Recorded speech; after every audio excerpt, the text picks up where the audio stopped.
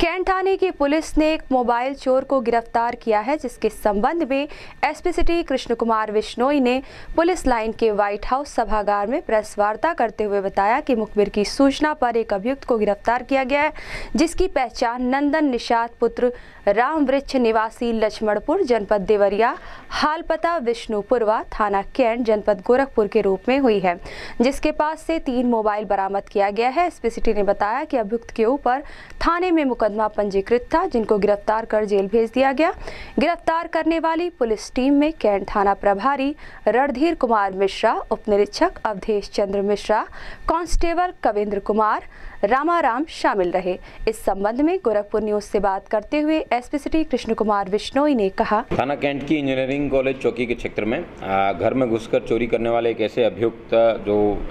बिशनपुरवा आवास कॉलोनी के अंदर रहता है, वीरेंद्र कुमार।